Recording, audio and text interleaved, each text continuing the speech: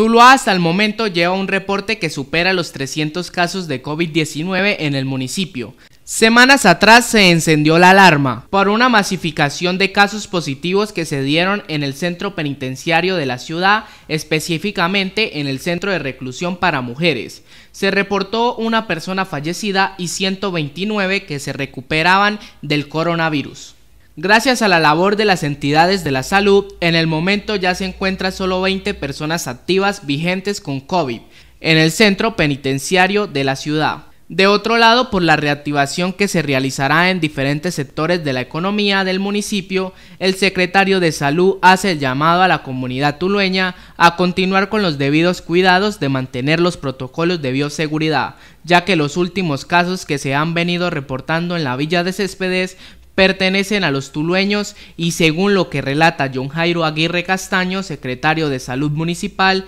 es que la mayoría de casos pertenecen a familias, donde tres o cuatro personas de un mismo hogar resultan contagiados.